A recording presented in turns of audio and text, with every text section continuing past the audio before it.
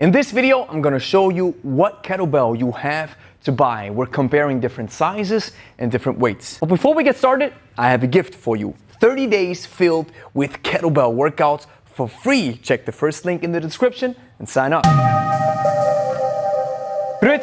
Gregory von Lebe Stark here. When it comes to kettlebells, you have a host of options that you can choose from. For a beginner, this might be confusing. Hence, here comes this handy kettlebell weights and size guide for you. Now, first things first, what I want you to avoid and what I don't want you to buy is these crappy kettlebells. Anything that's made out of plastic, anything that is rectangular, not bell shaped like, and anything that is trying to emulate the kettlebell per se. So, with the crap out of the way, we're left with three options the cast iron, the fitness competition kettlebell, and the hollow core competition kettlebell. When you check out the price tag of either of these three kettlebells that I'm about to show you, you might be tempted to opt in for the cheaper ones. But the cheap kettlebells do not offer you the same benefits, the same level of enjoyment, the same level of fun, and the same elevated chances of achieving passion for kettlebell training. Passion translates into regular exercise down the line. This means you'll go out of your way to train on a regular basis. And this can only be achieved with a proper kettlebell. So here we have the three contestants the cast iron kettlebell, the fitness competition kettlebell, and the hollow core competition kettlebell. Now, all kettlebells have the same specs. We have a handle, we have two horns, we have the upper arc and the lower arc. It's also referred to as the upper corner and the lower corner. We have the kettlebell window, we have the bell, and we have the base. So let's start with the cast iron first. It is easy for beginners to handle, especially when you also start working with double kettlebells. The second point is they are extremely durable since they are made out of cast iron. Number three, if you have a big collection, this doesn't take up a lot of space as compared to a competition kettlebell. The handles do change, so the bigger the kettlebell is, the bigger the handle gets. So for people with large hands, it is perfectly made to grab and grip. And the weights go up to so-called monster kettlebells, which go up to 92 kilograms of weight. This is an 8 kg just for reference. So let's check out the cons of the cast iron kettlebell.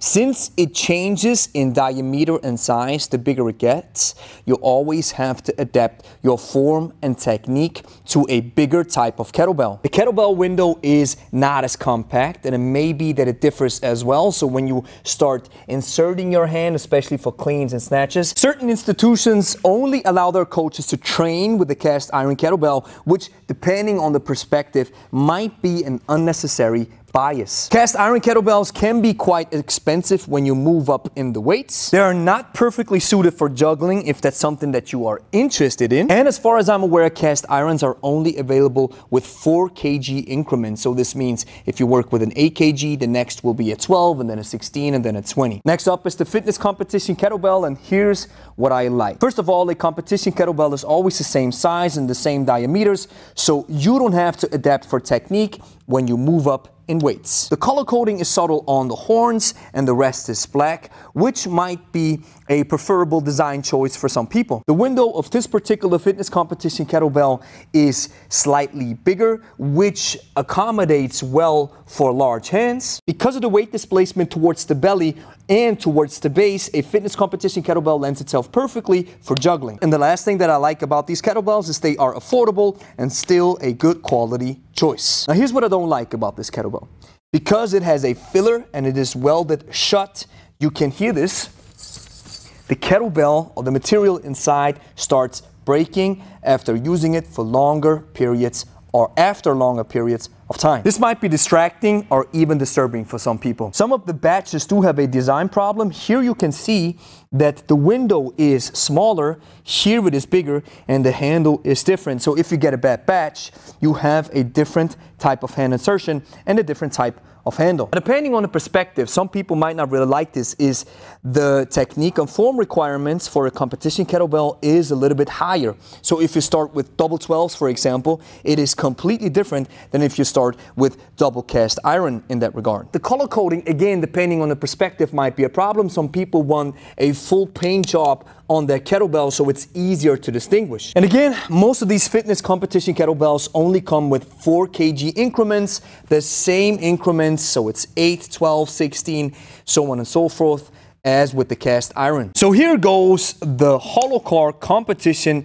kettlebell. And what I really like about these is these are our own kettlebells. So this is the biggest advantage when you start swinging with these because you have the beautiful LS logo engraved right here. Biggest benefits of them all. Jokes aside, let's check out the pros and cons. The color coding is fairly visible and beautiful. We have a great paint job here with the weight increment down here, and this makes it easily distinguishable. Again, same as with the fitness competition kettlebells, it is one size only, so it doesn't matter what kind of weight you're choosing, you're always working with the same diameter and the same size of a kettlebell. Now the window is a little bit smaller compared to the fitness competition kettlebell, which makes for a nice and compact hand insertion. One of the biggest advantages of this kettlebell is the feeling that you get when you swing it. We call it super flow. There's just a superior flow feeling that you get with a swing, a clean, and a snatch because of the hollow core single cast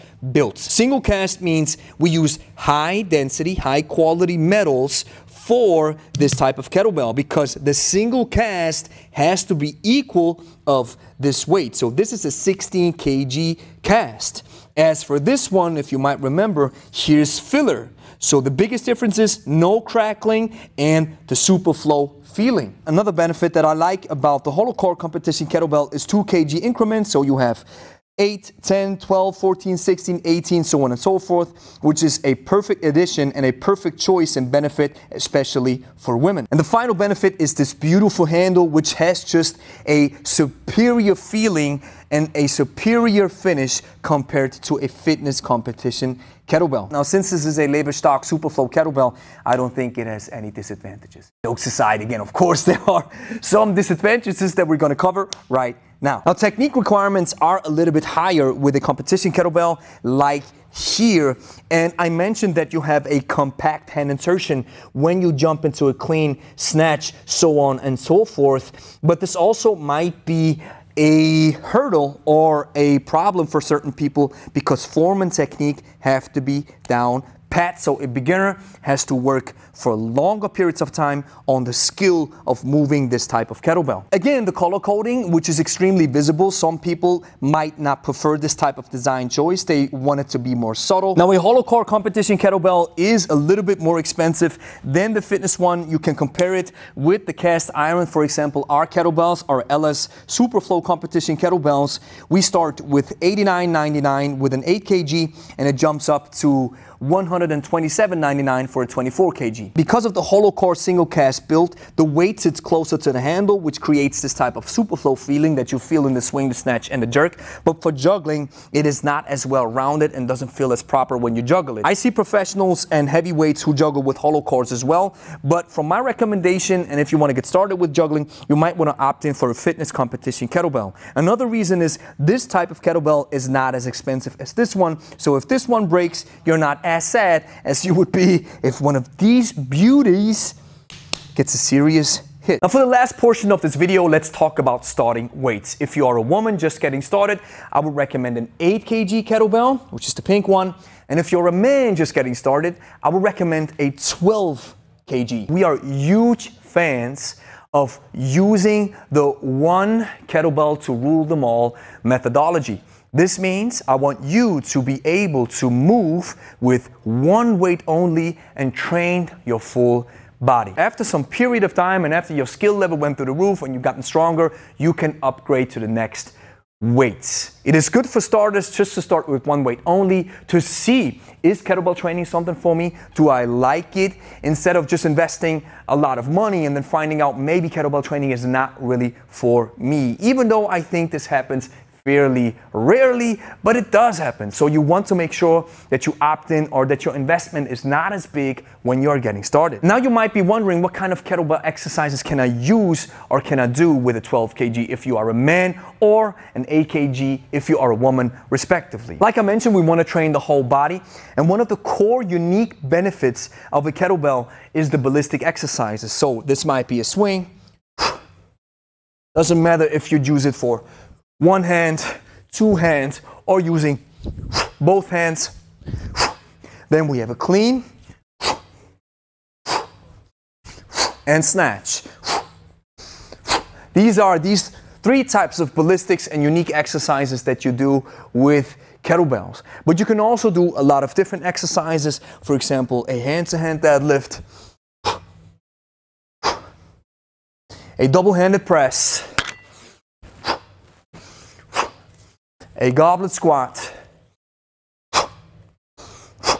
So you can pretty much train your whole body with one weight only. And even if you've advanced to a point where you need a heavier kettlebell, and you probably are not able to afford one or it's just not an option right now, you can still make the exercise harder. For example, we can do, instead of a normal deadlift, we can do a Romanian deadlift where tension is always high.